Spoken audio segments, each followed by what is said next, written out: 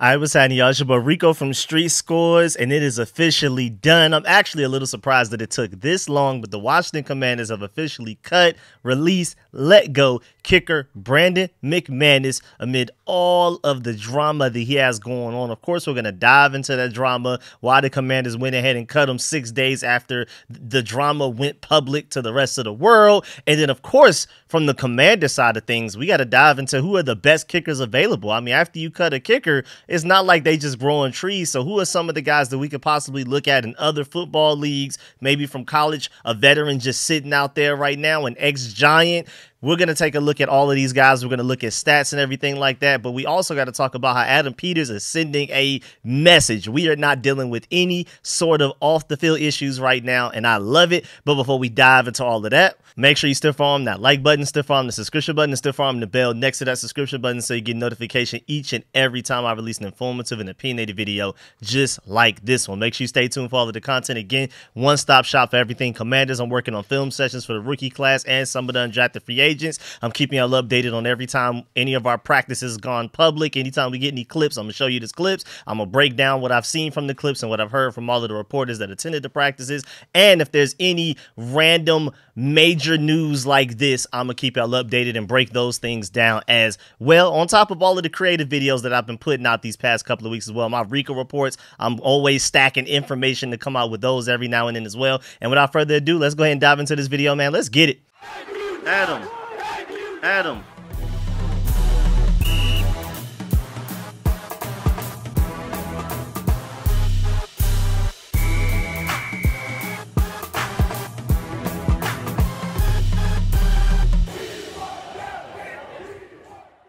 All right, so after we found out that Brandon McManus was being sued just a few days ago for sexually assaulting two flight attendants on a Jaguars team flight last year, the Commanders have already gone and released them. And this is the shortest public statement I think I've ever seen the Washington Commanders put out there. As you can see on your screen right now, I mean, they typically provide some statement like we've looked into the situation, we feel comfortable with making this, coming to this conclusion, making this decision after the research and investigation that we've done on our side of things. No, they just felt like this is all we need to say. We have announced today that we have made the following roster move. The Washington Commanders released the following player, kicker Brandon McManus. That is it. No explanation, no nothing. I guess they feel like it's self-explanatory. Maybe Adam Peters will come out with a comment about it later through an official statement like this that you can actually read, or maybe Dan Quinn does. But as of right now, that's all we have from their end of things. And I just thought that was hilarious how short and to the point it was, because I guess they felt like it's obvious why we're cutting them. We don't even need to talk about it. He's gone. Now we're on to the search for a new kicker.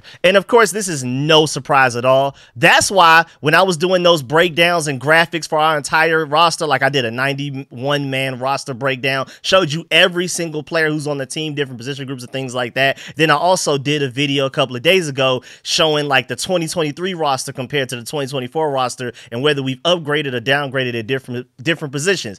And in those videos when I had Brandon McManus on the screen, I always had question marks because I was not exactly sure if he would actually be here by the time we even got to the regular season. I mean, I'm not, I wasn't even sure he was going to make it to mandatory mini camps or training camp. So again, I'm honestly surprised that this didn't happen sooner. I, I honestly kind of expected them to go ahead and cut him the day that we found out this news. And we're going to dive into that soon about this whole situation and how they went about it. And I'm actually pretty proud of the commanders because I felt like they did a pretty good job. We'll get to that soon. But first of all, let's just back it all the way up. What happened? If you didn't already see my video breaking down why he's being sued and why we may potentially cut him before I'm even doing this video that you're watching right now today of why we did cut him, I'm gonna go ahead and do like a quick background information on it. I went into a little bit more detail into what happened in the background, why he's being sued, and all of that in that video. But just real quick, directly from the Athletic themselves, Mark Pulio and Ben Standig wrote this one. They said two women filed the suit in Duval County Circuit Civil Court against McManus and the Jacksonville Jaguars. They're being sued as well for negligence, allowing him to do it. They said players and the team themselves were aware of this and did nothing about it, type of thing. They accused McManus of grinding against them while serving the team on an international flight to London. They also alleged the Jaguars failed to supervise McManus and create a safe environment for the staff on the flight, per the lawsuit. And remember, McManus just signed a one year deal for $3.6 million with the Washington Commanders back in March, and the Commanders spokesperson told The Athletic last week the team became aware of the lawsuit as of Monday. And then continuing on with the article, the two women who filed the suit worked as flight attendants on the Jaguar September 28th of 2023 charter flight to London and alleged that McManus passed out $100 bills to encourage three flight attendants, not including Jane Doe 1 or Jane Doe 2, to drink and dance for them. Of course, their names are being kept hidden to, from the public. Jane Doe 1 alleged McManus tried to kiss her while she was seated during turbulence. Jane Doe 1 also alleged McManus grabbed her by the waist from behind and grinded on her on two separate instances while she served meals on the flight, according to the lawsuit. Then Jane Doe 2 alleged in the lawsuit that McManus approached her from behind, grabbed her by the waist, grinded while she served the second meal on the flight to London. When the women confronted McManus, he simply smirked and walked away, the lawsuit said. On the team's return flight to Jacksonville, Jane Doe 2 remained in the aircraft's second story to avoid McManus per the suit. That's terrible. Jacksonville played back to back London games in 2023. The team hosted the Atlanta Falcons at Wembley Stadium on October 1st before facing the Buffalo Bills at the Tottenham Hotspur Stadium on, on October eighth. And that's just all terrible. Shouts out to Rush Manuel for bringing up this point. Now that it's available, maybe Tress Way will start rocking the number three. Great point right there. You know, Tress Way gave his five to Jayden Daniels. We still don't exactly know what number he's actually going to end up wearing. So maybe he takes the number three that's, you know, like a decent picker, a, a punter. I said picker, punter number, kicker, punter, whichever one you want to do. And then also, just to let you know, the commanders will hold their third OTA period this upcoming week. Dan Quinn will address the McManus decision, we're assuming, with the media on Wednesday when he finally speaks to the media for the first time in a while. And also, just to remind you, Washington now, with him gone, currently has no kicker on the entire roster. And I'm assuming that they're going to do everything in their power to try to rectify that as soon as possible. And I'm at the very least expecting to see some kicker tryouts at practice, which start back up in a couple of days. Just to let you know the schedule again, when it came to OTAs, offseason workouts, which is the period that we're in right now, it was May 14th, 15th, and 17th, then the 21st, 22nd, 24th. And then there was this pretty large gap pretty much like a two week gap. And now we're starting back up as of Tuesday, June 4th and 5th, and then again June 7th. And then it's mandatory mini camps June 11th through 13th. And of course, we're going to have that big gap from then all the way to training camp in July. So just to let you know, we have practice starting again as of Tuesday. Again, Dan Quinn will address the media as of Wednesday. Hopefully, we'll get some some information on what's going on with the kicker position because you cannot sleep on how important the kicker position is. We'll talk about that soon. But shouts out to Chad Ryan for pointing this out. The stock of available kickers right now with NFL experience is surprisingly low right now. So he suspects that the commanders will bring in a couple of college guys for an open competition, or we may tap into some UFL guys, which we'll talk about a little later.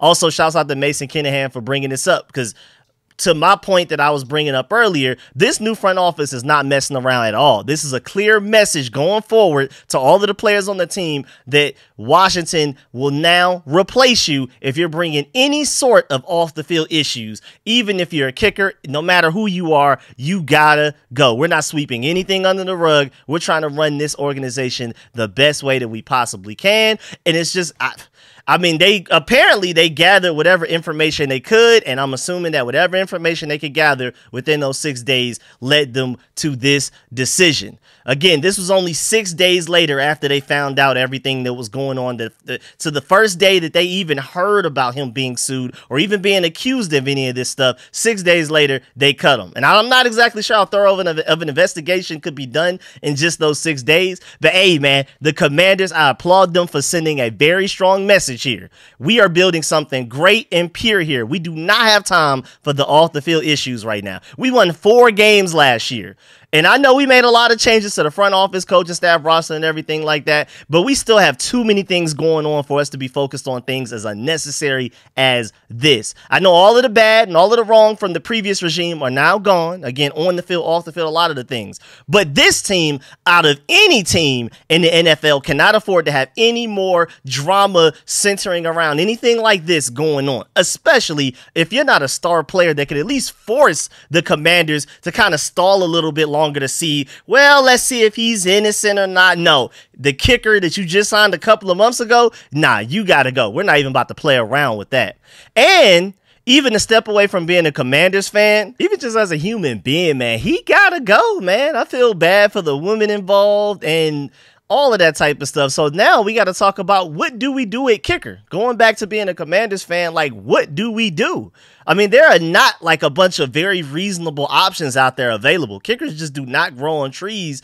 You could argue maybe Randy Bullock is probably the best option we have right now. He's not the best kicker in the world, but he's a decent veteran that could we could probably bring in in case of emergency. And right now, this is an emergency. It's it's not looking good for us right now, man. Because people laugh at kickers and completely overlook their impact and how how important they are to teams and things like that when they're discussing football. But you you will know the value of a kicker when you have a bad one or you don't have one at all like we are right now. Kickers win and lose games for you, dog. And it's really annoying because little freak boy McManus was like automatic within like 30, 40 yards. So now we need to find somebody else that can give us that level of assurance about, okay, it's within this certain yardage. He's 100% from there. We don't even have to worry about that type of thing, which honestly, probably isn't even available out there right now. That's why we went and signed him in the first place because he was so automatic from within a certain range. So it sucks though. We did that before we even knew all this drama was centered around him, but we basically need another kicker that we can trust. Now, going back to Randy Bullock,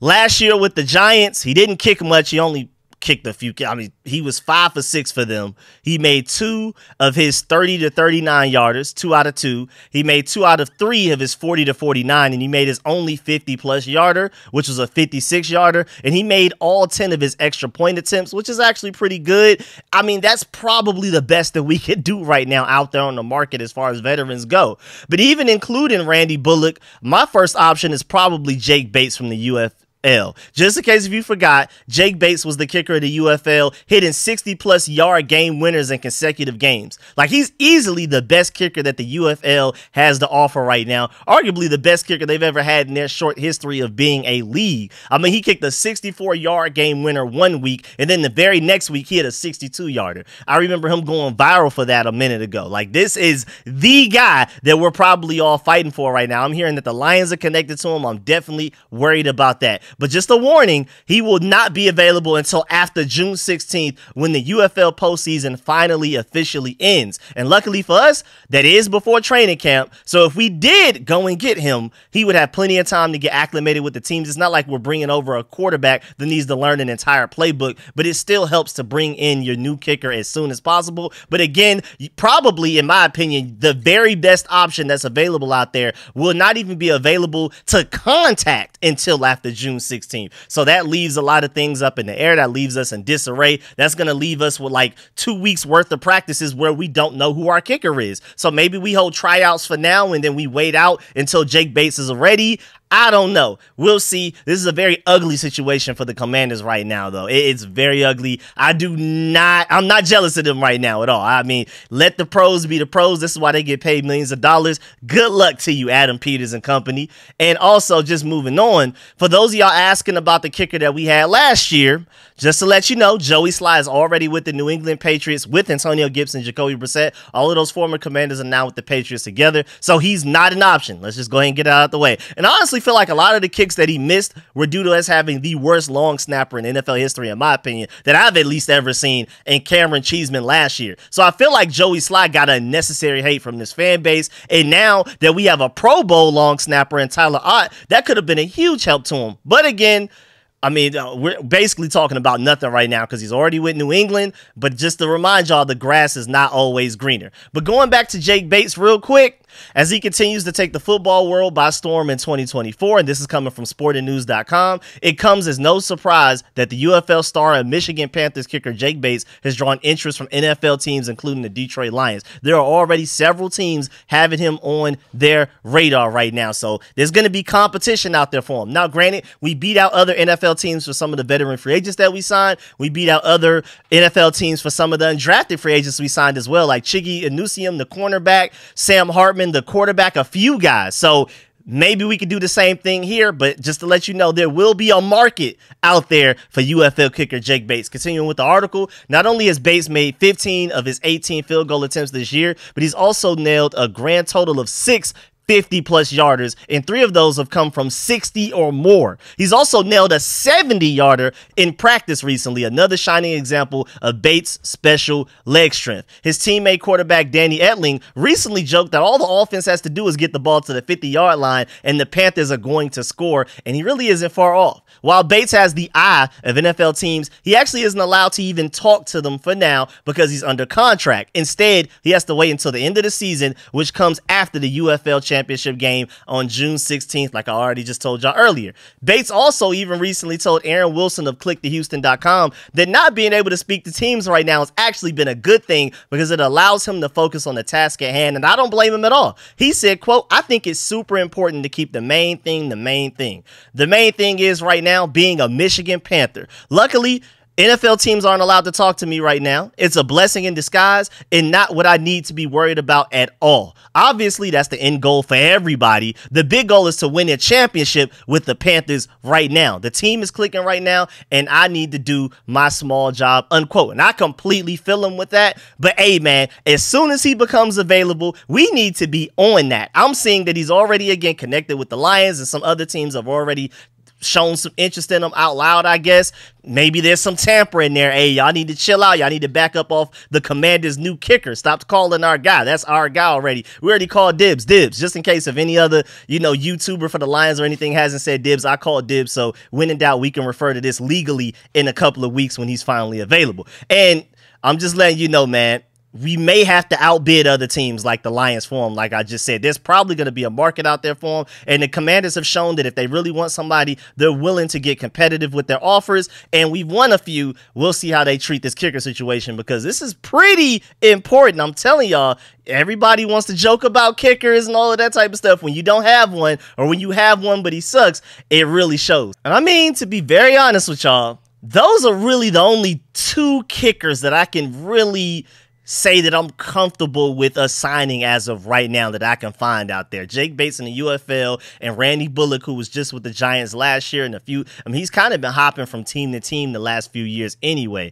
Like, he was just with the Titans in 2022 and 2021 going backwards. Then he was with the Bengals for a few years, all the way from 2016 to 2020. He was with the Steelers before that, then the Giants before that, then the Jets before that, and then the Houston Texans for two years before that. So he's hopped around a little bit. He, I mean, and there has to be, a, I mean, if you have a great kicker, you typically don't let them go. So that does kind of look a little bad on his resume. That is like some sort of a red flag. Why are teams willing to just let you go after a couple of years for the most part, or just even after one year? Year after they have you. So, I mean, that's arguably the probably the best we could do out uh, right there right now. But sadly, and now maybe there's some random up and coming kicker that just goes out there in these kicker tryouts and just balls out, and then maybe we just found a gem. I mean, I'm hoping like that's really what we have to pray for right now. And maybe we can get Kid from Kid and Play from that Class Act movie that just suddenly found out he's a genius at kicking. Who knows what our options are right now? Chris Cooley brought up a good point. He tweeted on Twitter, as you can see on the screen right now. I honestly hope they sign a kicker from the UFL here are some options. And, and I can see the argument for that because you're going with the higher ceiling rather than just like a random veteran kicker that's just sitting around on the couch waiting for an NFL team to call them. Maybe you try to get one of these up and comers. Maybe you try to bet on ceiling and traits and maybe elite potential as far as the UFL goes right now. And these guys are as fresh as it gets. They're currently kicking in actual games right now for their respective league. It may not be the NFL, but you're a kicker. Just go out there and kick and make the same length field goal. Not like the field goal is further further away. You make a 60 yarder in the UFL, you can make a 60 yarder in the NFL, which is absolutely insane. But going back to the tweet, Matt Coughlin is 10 of 10 on 20 to 49 yards and 4 or 5 from 50 plus. That's a decent option right there. You have Andre Szmyt I hope that's how you pronounce that. 13 of 14 of 20 to 49 yards and 4 or 5 from 50 plus. Jake Bates, my favorite option, 9 of 10 from 20 to 49 and 6 of 9 from 50 plus with a few 60 yarders. And then Matt McCrane is 10 of 12 from 20 to 49 and 5 of 6 from 50 plus. But I want to know their PAT numbers. I'm not going to lie because that was the main selling point on Brandon McManus. He doesn't miss PAT. So when you score touchdowns, you could pretty much just go ahead and add that that number seven to it rather than just six. You might as well just go ahead and add seven to your previous score because you already know he's going to make it. He didn't miss a single one last season. And I'm hoping whoever we bring in, being able to make 50 plus yarders are great. But at the end of the day, your offense should be able to handle most of that. We need you to make PATs first and foremost, and then we go backwards from there. Because sadly, for guys like Joey Slye, who have big legs, or, or even Jake Bates, who also has a big leg from his ability to make 60 plus yarders, those guys are kind of getting getting schemed out a little bit out of the NFL. They're getting phased out by the new rules, the new kickoff rules, because having a big leg right now, at first, it used to be beneficial in two different ways. You can make longer field goals, obviously, but also we really needed that in kickoffs to kick it out of the back of the end zone so teams don't even have a chance to return it. It's just touchbacks every time that your defense is going out there on the field. But now with the new kickoff rules, a guy with a leg that big, it doesn't really matter as much like it used to. So it, sucks for guys like Joey Slye and Jake Bates when you have the big leg that I mean now that type of thing isn't as valuable as it used to be up until this literally just this season for the first time in NFL history. We'll see how this goes. Now, my main point is is that we need a guy that's more dependable and consistent than the guy with the bigger leg. Usually there was kind of like a 50-50. I mean, do you want the bigger leg? Do you want the more consistent guy? Now it's obvious, especially with the new kickoff rules, that you want the more consistent guy. So I'm hoping whenever we hold these tryouts, we don't have a 50 plus yard kicking competition. That could be a part of it, but I want to see who can make 30 PATs in a row under pressure situations, loud noise, all of that type of stuff. That's how I would personally decide my kicker right now. Because ultimately, you hope your offense is good enough to where you don't need to be making 50 plus yarders out here. Hopefully, you can make anything within 40. PATs are automatic, and we're good to go. I'm solid with that any year prior before the new kickoff rules, maybe I would have been, like I said, in the middle where the big leg guy can see the argument, the, the more consistent guy can see the argument. But now, just give me the more consistent guy any day of the week. But yeah, man, that's the end of this video. Please get in the comment section. Let me know if you feel about everything discussed in the video. Please stiff arm that like button, stiff arm the subscription button, and stiff arm the bell next to that subscription button so you get notification each and every time I release an informative and opinionated video just like this one. Make sure you stay tuned for all of the content. Do not leave this video without leaving a like. Of course, let me know in the comment section if you agree or disagree with any of my points. Do you agree or disagree with the commanders cutting them six days after they found out that he was being sued for everything that's going on? Also, let me know how you feel about the kicker situation situation? Is this like panic hit the red button? Who are your favorite kicker options out there between the UFL, veteran, maybe a random college come up that didn't end up getting signed by an NFL team? Let me know who your options out there. If there are any that I missed, let me know. Put me on in the comment section because please give me some hope that we can find a really good kicker before we get to this regular season.